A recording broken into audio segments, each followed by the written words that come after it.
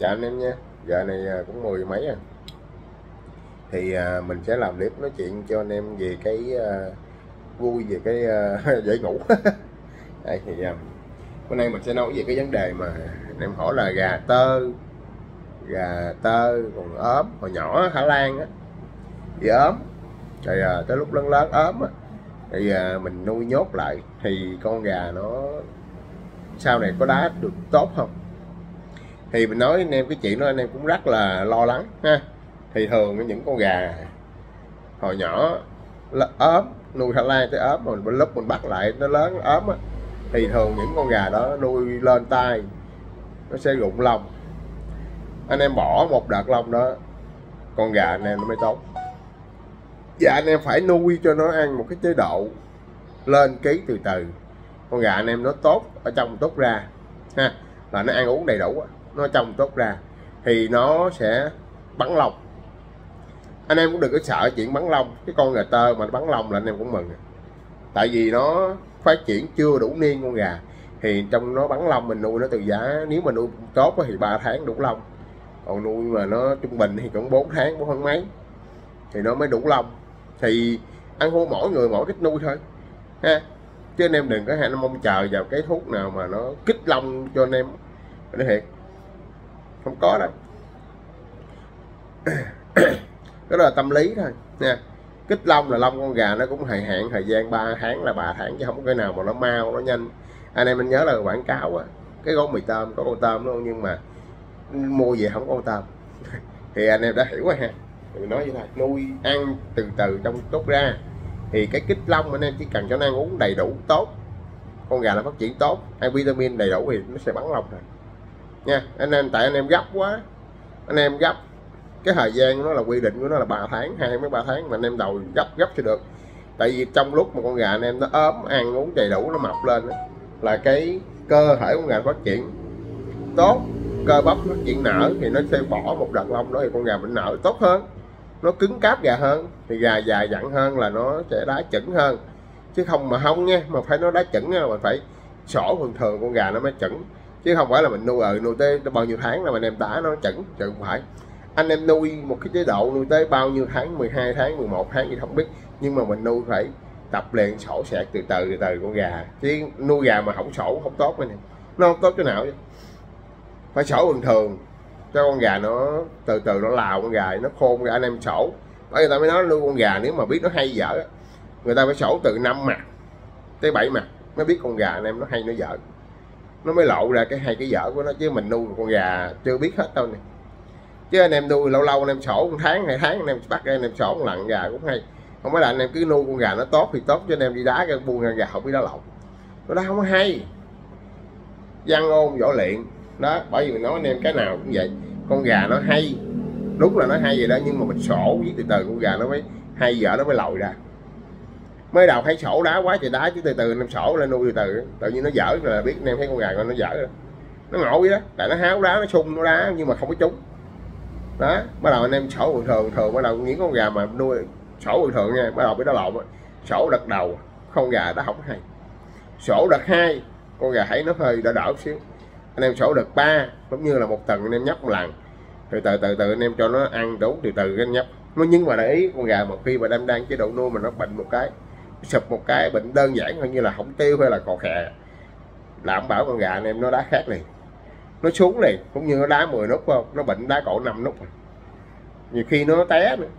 Đó. Cho dù con gà bệnh nhẹ hay bệnh nặng gì, không biết bệnh nặng thì con gà nó sụp, con em ra nó không được. Đó. Bởi vì phải nuôi gà đơn giản nè. Tập luyện nó từ từ. Mình nói anh em khuyến khích anh em lên sổ bình thường á. Một tuần anh em lên sổ từ anh em cái chế độ nuôi bình thường anh em cái sổ từ từ. Thì con gà anh em nó sẽ biết nó lộn giỏi ra từ từ từ 5 tới 7 lần, bảy mặt á. Mới biết con gà mình nó hay, nó dở nghe nè. Mà yêu cầu con gà phải đá trúng nha, chứ phải đá người cớp cớp cớp cớp cớp, mà đá không trúng cho nên thấy không không được nghe nè. Nhiều anh em phá gì đó, buông ra đá cạch cạch cạch cho anh em phá nhưng mà không có trúng. Thì đó, thì mình chia sẻ cho anh em vậy. Còn con gà mà anh em nuôi ốm anh em đưa vô nuôi chế độ lại, con gà nó mập lên lại. Nó cũng bình thường, không có gì khác, không có tốt, không có bị gì mà không tốt cho nên nó cũng như là nó từ khi con gà nó hồi nhỏ nó bị bệnh á nó èo ọt á. À, giờ anh em nuôi lên là chú ký nói chung là không bác chỉ nào. Cũng như trong bầy nó là ba kg ba kg và có mình nó hai kg hai hai kg mốt. Ký chín tại hồi nhỏ nó bệnh á nó bị bệnh cái nó khẩn con gà lại. Tại sao nó khẩn không? Nó đông nó đang nó đang phát triển đang đùng phát triển lên cái như con gà mình nó bệnh. Cái những con gà kia nó dành ăn cái con gà mình ăn không kịp. Nó yếu quá ăn không kịp thì con gà kia nó bự lên phát triển lên thì con gà mình nó bị đầy lại với anh em thường thường anh em mới nói sao ờ, ở bài gà đó con gà nó đẹp. Nó nhỏ tại hồi nhỏ nó bệnh đó hồi nhỏ nó bệnh. Còn những con gà trong bài cho anh em thả lan thường cái cái con là ăn không ăn cái nó dược nó mổ quá nó dành ăn cái con gà không mập. Thì mình bỏ vô trong chuồng mình nuôi mình cho nó ăn uống đầy đủ từ từ lại con gà nó sẽ tốt lên nó mập lên ký thì nó sẽ tốt. Nhưng mà với chế độ á là anh em phải biết phân biệt tay. Nuôi gà mình nói anh em cái đầu tiên đặc biệt của con gà là anh em anh, anh, anh em phải biết nhìn tướng con gà phải không? Đặc biệt nhất là anh em phải biết vô tay gà. Để mình cảm nhận cái gì? Mình cảm nhận con gà mình nó đang mập nè. Con gà mình đang ốm nè. Đó còn mình phải cái, cái lúc mình cần phải cho nó lên ký nè. Cái lúc mình phải cần giảm ký. Nuôi con gà giảm giảm giảm ký con gà lại đơn giản. Mình nói thiệt chứ mình chỉ vào bên em tưởng mình nó chơi. Nuôi con gà muốn lên là lên muốn xuống là nó xuống. Anh hiểu không? Nuôi cái đơn giản không phải bỏ chuồng chạy chuồng quằn chuồng gì trên là con gà nó ốm không phải không phải mình muốn cho con gà nó xuống lại, là nó sẽ xuống ký. Nó lên ký, mình cần lên ký là cho con gà lên ký. Nó đơn giản anh em, chứ phải như anh em tưởng tượng nhờ phải nuôi con gà nó ốm, nó mập. Cái anh em bỏ chuồng bay, chuồng chạy rồi nó mập, nó ốm này không chừng phải đâu. Nó không có ốm ở đâu. Nhớ nha, mà tập quá cho chạy quá thì con gà nó không không ốp mà sao nó chai cơ. Bởi nó em nuôi con gà, đơn giản nè con gà mập. Anh em cho ít lại con gỡm anh em cho ăn nhiều. Có vậy thôi à không có khác gì trên. Chứ không phải con nào nó ăn cái bầu bị lớn gì cái bầu bị lớn bị lớn gì hết trơn. Anh em có chế độ cái gà ăn hai muỗng hai muỗng đều rang. Con gà anh em đang mập cái này cứ đưa, đưa hai muỗng vô hoài. Rồi sẽ đớp được cái này bỏ chuồng chạy chuồng vay cho dùng quằn. Hái cho dùng quằn bự dùng quằn á bự cho gà đớp anh không, không, không có nguyên tắc nào mà cho bỏ dùng quằn gà đớp nữa cái đi ra cho cũng ăn cho hai muỗng. Rồi sao gà ốm được con gà bản năng nó ở ngoài đi tự nhiên nó đi hoài nó có ngưng đâu nên mình bỏ chuồng hoàng cái anh em tưởng tượng là con gà nó ốp sự không phải đâu. Mình phải biết ăn uống liều lượng con gà mới là biết điều chỉnh cái thức ăn đó điều chỉnh cái lượng ăn con gà lại. À, con gà này nó đang ốm thiếu khung à, cái tướng nó chừng 3 kg mà nhìn cái mà sao cái lưng nó mỏng dần nó mới có hai kg tám. Phải là đúng ba kg con gà nó đã tự đá hay liền tự động đá bo lớn cho anh thấy liền mà con gà cái phơm nó chừng 3 kg cái này nuôi lên 3 kg 3 3 kg 3 3 kg 2 nó hơi lố khùng. Cái nó đá cũng không hay nó đá như là nó chậm lại bớt. Nó đá chậm lại mà nó dễ thở nhiều nó thở dốc nhiều lắm. À, mình nuôi lại đúng 3 kg là cho ốm xuống ký là đúng 3 kg con gà tự động đá hay. Nó đã khác liền luôn. Bả đem nuôi gà mình nói nuôi á phải biết cho con gà mình nó, cái khung này lố tay, khung này dư tay, khung này nó vậy đó. Còn mình, nhiều anh em nuôi cách sim maximum luôn là sao? Cái lưng mở, cái bụng đít mở luôn. Cầm vô đít phải đít luôn. Nuôi con gà ốm đơn giản này không có gì khó vậy. Dưới ý mình nuôi con gà cho nó nó xuống ký nhưng mà nó lên cơ, lên bo mới hay. Chứ không phải nuôi con gà ốm mà nó tuột luôn. À thấy chưa? Nuôi nuôi gà này phải tập, biết những cái đó nó cái đó, cái cái mà vô tay là quan trọng nhất cái nuôi gà mà biết cho ăn, phân lượng cho nó ăn và vô tay mới quan trọng. Chứ phải con nào này cũng cho nó ăn giống vậy nè. Nhiều cái người nuôi cái gà hay trời ơi, sao mập dữ trời. Trời con gà ốm nhân khô queo. Nhưng mà anh em cũng không có hiểu. Tại vì cái chung á, mình nói thiệt với mỗi người mỗi cách nuôi, nhà nó sáng chán ai nó sỉ là chỉ đó. Thấy không? Không có ai, không ai giống ai chứ là không ai dạy ai hết những người nào mà biết lắng nghe, tìm hiểu, thì tự động con gà nó sẽ tốt. Còn như là mình không có người nào cũng hay, ai cũng muốn hay, không bao giờ nó tốt. Ha. Đó, thì con gà ốm, mình nuôi từ nhỏ nó ốm, thì mình nuôi lên mình biết cái khung nó bao nhiêu bao nhiêu, mình điều mình điều chỉnh. Và mình sổ bình thường, thì con gà nó sẽ giỏi. Nha, không bị gì hết trơn đó nha, mình tự nhiên con gà nó giỏi rồi anh em đừng có lo chuyện đó. Nó không bị cho tự nhiên nó giỏi, chứ đừng có nghĩ là con gà nó ốm là nó nuôi là nó dở chứ không phải mình nuôi không biết, phân biệt tay con gà là mới dở. Cũng như con gà không đó là nó phải hai ký tám, ba ký ờ, ba ký hết mức là ba ký đi. Mà mình cứ đẩy lên ba ký hai, vô tay nó bự ra, bè cây nè, chứ còn con gà anh em đá khác liền. Lúc ba ký cho sổ khác mà lúc lên ba ký hai cho đá không nổi, nó chậm. Bởi em thấy đi căng gà đá, đi đá gà nên thấy hồn căng á. Để em cân mà con gà lúc đó nó đá là hai ký tám. Cái đi cân còn có hai ký sáu năm chục. Là con gà anh em đá khác liền cái hàng căng gà anh em hàng thả gà là bên em nó thấy khác liền. Đảm bảo nó không theo. Tại lúc đó con gà nó ốm mà cầm nó biết liền. Còn mình thì cứ nghĩ là con gà nó nó không ăn không cải đó. Nó xuống ký cũng đâu nhẩm gì ha nó, nó có đó bậy nha. Cái đó là một cái điều rất là sai lầm. Nó phải đúng đúng ký nó mới tốt. Còn như gà anh em đá được đó ba ký tay anh em đủ rồi. Cái lưới xào lên đi cần đá ba ký mốt năm chục lên một chấm gửi gà. Là thấy con gà nó khác liền. nó thấy khác liền là con gà này sẽ đá chậm nhịp lại. Nha, anh em nói, mình nói nè, nó sẽ đá bị chậm nhịp lại. Chậm nhịp lại và nó sẽ thở dốc nhiều hơn. Mập quá, lố ký, không được. Ốm quá, cũng không được. Anh em hiểu không? Đá gà là nó như vậy à. Biết rằng là nó mập. Nó đá bo lớn nhưng mà lớn được có mấy chân à. Mấy chân sao không có đá nổi. Đó, mình nói anh em hiểu không? Nuôi gà phải mình phải biết quan sát những cái điểm điểm đó, đó thì con mình mới nuôi con gà nó tốt được. Và ăn uống cái mọi gì mọi gì đó mình phải biết ăn liều lượng bao nhiêu. Ít chứ không ăn nhiều thì con gà nó sẽ tốt. Ăn nhiều không tốt. Nhớ nha giật tóc là bắt đạt à mình nói tới cái vấn đề đó là anh em hiểu ha. Rồi mình sẽ nói về cái vấn đề anh em nói về màu mạng mình không có giống người nào hết anh em cứ nói mình giống ờ, vào bị hải đủ thứ. Không có, không không không đủ tầm. Mình nói thiệt. Tự động là chơi, tự ai để biết.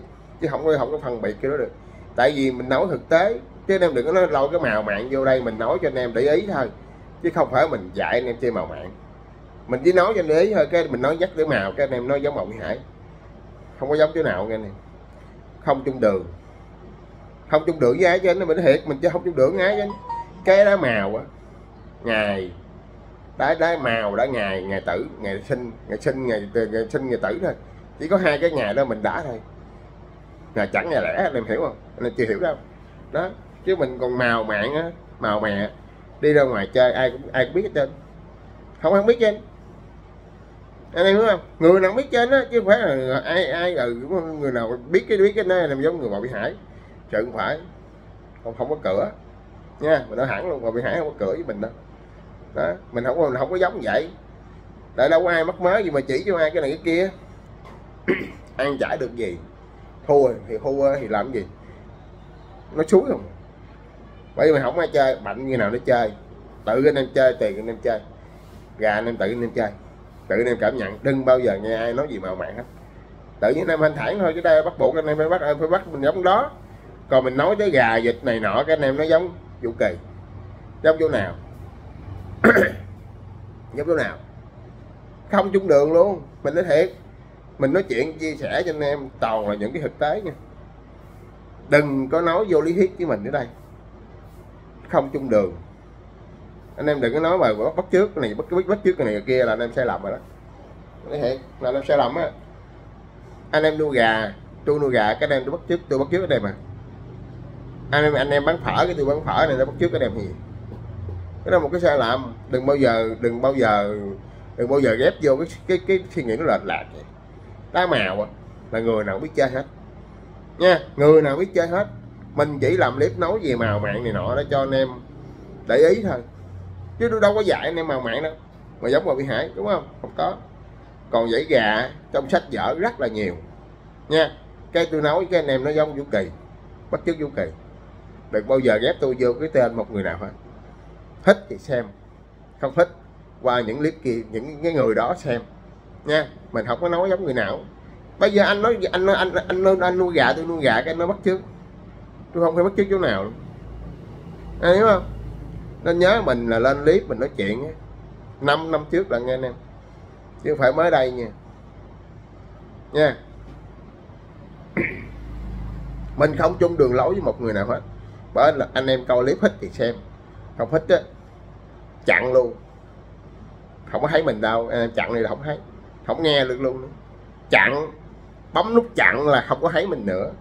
Qua bên clip những người khác coi là anh em không có nhức đầu. Đừng bao giờ nói mình bắt trước người nào hết trơn á. Mình nói chuyện với anh em á, là mình bỏ tiền của mình á. Đi chơi á, mình mới có kinh nghiệm. Mình nói cho anh em nghe mình kể cho anh em nghe, em để ý. Chứ chưa bao giờ mình dạy anh em, kêu anh em đóng tiền đóng bạc kiểu này anh em bao giờ đừng bao giờ hắt mắt bắt trước ai được bao giờ hắt mắt tôi làm vì cái niềm tin là chia sẻ cho anh em đam mê, mới biết chơi, tập chơi. Chứ anh em đừng bao giờ nói tôi bắt trước ngày nào nha. Không hết thì lướt qua. Nha. Nhớ nghe anh em.